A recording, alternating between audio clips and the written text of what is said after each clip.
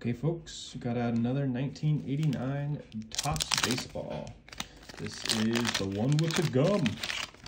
And there it is, that lovely, lovely contraption.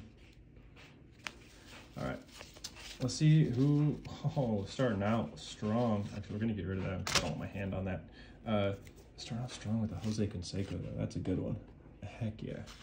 All right, we got a Mike Young, Bob, Steve, a Bill, a Darren, a Will Wilson, Buddy Bell, this uh, trash, John Kirk, Rod Nichols, Stuart Colburn, Danny, or excuse me, Barry Larkin going up on the stands, Randy Bush, and a John Whatton. Well, I got a Jose Canseco and a Barry Larkin. I ain't complaining about that. Thanks for watching, y'all.